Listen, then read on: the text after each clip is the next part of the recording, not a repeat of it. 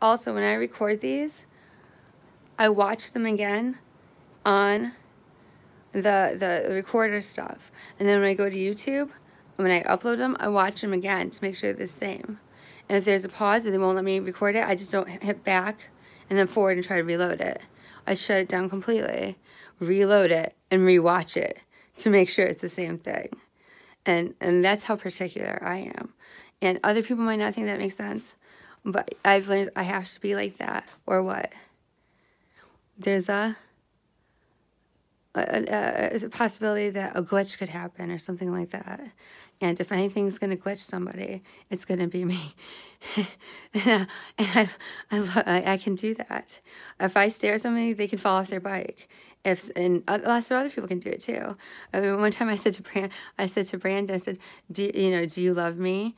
And he was saying um, in a certain way and his body language a certain way and he changed around and he started talking like this. He's i don't know but about blah, blah, blah, blah, blah, and long-winded explanation. But he was going like this.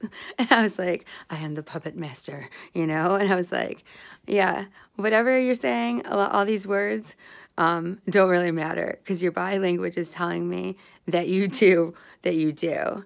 And um, when i met you you were like I've never said this to anybody, but I want to marry you and have your children. And I was like, people say that to me all the time. And usually I'm like, no, but I, I need something from you. And I'm willing to leave my house and go with you to do it. Why? Because you, when you got here, you said the magic words, which is, I'm, I'm going to offer these things to you just to talk to you.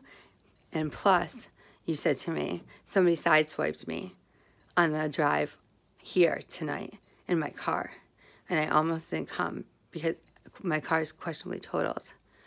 And but and to me, I, uh, that stuck out. But they sideswiped you, right? And, and that's important. And so that I went immediately with him in that same car, not taking my own, to go do something because it must be important.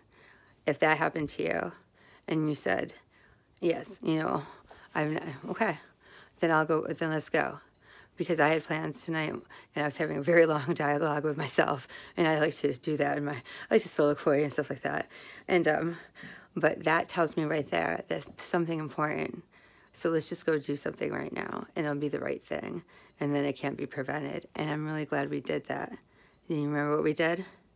It wasn't effective.